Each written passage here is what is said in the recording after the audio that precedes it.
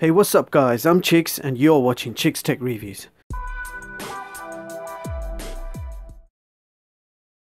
So we've seen smaller laptops in the past with ultrabooks and netbooks. But today I've got my hands on the world's smallest Windows 10 laptop, which has some impressive specs and a superb build quality. So this is the GPD Pocket, a Windows 10 mini laptop. This product is a good balance between an ultrabook and a netbook. So let's begin with the specs. I'll put the specs on the screen so you guys can have a quick read. So this has a 7 inch full HD touchscreen display with a resolution of 1920 by 1080 and a pixel density of 300. So you have the Intel Atom X7 Z8750 quad-core CPU running at 1.6 GHz. You have the Intel HD 405 graphics, 8 gigs of DDR3 RAM. You have the ultra-fast 128 gigs Samsung eMMC storage, dual-band Wi-Fi AC, Bluetooth version 4.1, a licensed copy of Windows 10, a massive 7000 mAh battery, which will give you around 12 hour battery life for general use, so this is everything you get in the box, beginning with a user manual and a screen protector, a USB Type-C to USB Type-C cable, and a USB Type-C power brick. And here is the GPD Pocket. Oh my god. This is amazing. Wow. Seriously. You got a complete metal body here. Um, all of it. Everything is metal. Apart from this part here, which feels like plastic, but that could be the Wi-Fi antenna yeah, this feels really nice in the hands. This design and the feel of this product reminds me of the MacBook Pro.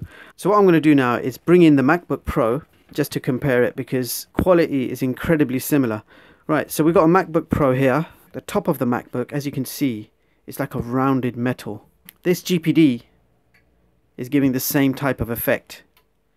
A very similar finish to the MacBook. If we turn both devices over, the hinges, the feet, very similar indeed. The design does look and feel very similar to my MacBook Pro. It appears that GPD has tried to replicate a mini MacBook Pro. I wasn't expecting to compare this to my MacBook, so I'm quite surprised as well. In thickness compared to the MacBook, the GPD is actually a millimeter or two thicker than the MacBook. As soon as I felt this device in my hand, I felt that I've got something different here in my hands. The quality is amazing. Um, it does feel like a mini MacBook Pro. So let's quickly go through the ports. So you have a little groove here to help you open the device. On the right side you have a ventilation fan, a USB Type-C port for charging and ultra-fast data transfer. You've got a mini HDMI port, a 3.5mm headphone jack and a full-size USB 3 port. On the back you just have a hinge and I suspect that's a Wi-Fi antenna inside there. Nothing on the other side and of course nothing at the front. And this is what the bottom of the device looks like. So let's finally get this open. So the keyboard does feel quite good. You've, you've got a full QWERTY keyboard. You've got some multimedia controls at the top, power button, um, the Windows button. So you've got basically everything you need, including a small mouse button. You have a 7-inch Full HD 5-point touchscreen with a resolution of 1920 by 1080 and a pixel density of 300. The screen is, is beautiful and you'll see that working in a bit. This folds back nearly flat. So that's pretty incredible. You can tell that a great level of thought has gone into designing this product. So before switching this on, I like to compare this to the last GPD product I reviewed, the GPD Win. This is a 5.5 inch 720p screen and this is a 7 inch 1080p screen. Both of these products have the same CPU and graphics card. However, this device has 8 gigs of DDR3 RAM and 128 gigs of internal storage, which is double than what you're getting on the GPD Win so all the games you've seen working on the GPD Win will work on the GPD Pocket. You have more RAM, faster storage and a full HD screen, so you can expect a better gaming performance from this laptop, and we will be testing that later. So they are both very good quality products, but I thought the GPD Win was a high quality product with a black aluminium finish at the top and plastic at the bottom. Um, GPD have really outdone themselves with the build quality of this product. Uh, this is probably one of the best build qualities I've seen since buying my MacBook Pro. So I'm very excited to switch this on and check out its performance. So we've got the device powered on. So as you can see we're on the desktop. First thing I'd like to do is test out the mouse. The mouse is actually very sensitive.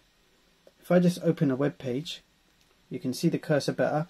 Very similar to the IBM mouse buttons you get. If you put less pressure, it will move slowly. And if you put more pressure, it will move really fast. So you are in control um, and I like it. It's very good.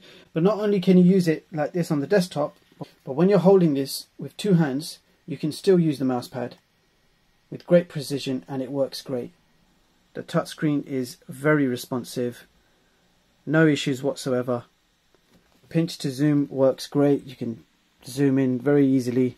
Yeah, so you've got a great touchscreen on here. So I just plugged in my 500 GB hard drive um, just to see if it would power and work. And yes, it works great. And here it is, and you can see it there. So it doesn't need any additional power. You can use portable hard drive. I tried a 2 TB hard drive and that also works great. I've installed a few things like Microsoft Office. So let's get Microsoft Word open and test out the keyboard. So this is Microsoft Word 2007. Um, it's one of my favorite versions, really easy and quick to install, and it opened up very quickly. So I haven't had any practice on this, and I'm just going to go ahead and type something up.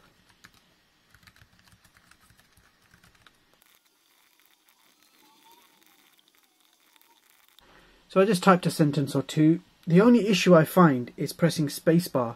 I sometimes miss it, and that is kind of the biggest button on this whole device. But somehow I'm managing to miss the spacebar button, and the delete button is very close to the standby button, so I am worried I'm going to end up pressing the power button instead of the delete button. The keyboard is very good. I like the response you're getting on it. I think it would take me around one hour to get used to it. So once you get used to the layout, you can go ahead and, and type full speed yeah, I'm impressed with the keyboard. The keyboard is definitely good. What I want to show you guys is USB-C adapters. So you can plug this directly into the USB-C port. I don't want to block the vents, so I'm going to plug it in the other way. So let's try that out. That's it. So now this device will give me a mini USB-C port for charging um, and data transfer, two USB 3 ports, a full-size SD card slot and a micro SD card slot. And here is another USB-C hub I got. And this one has four USB 3 ports, a USB-C port, but also a HDMI port. So we're going to test out the HDMI port. So as you can see, the HDMI connection has worked great. I actually bought these devices for my MacBook, but you can use it on other Ultrabooks, including Windows ones like this one. So let's test out some multimedia on this. I'm going to begin with Netflix. So I've logged into Netflix, and as you can see, it's all loaded up great. I'm going to go ahead and play something now.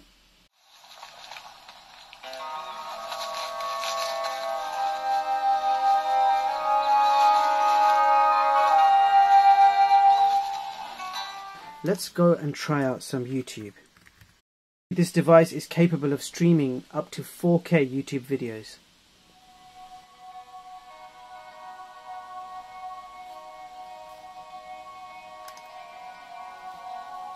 So that was streaming videos. Let's move on to some gaming.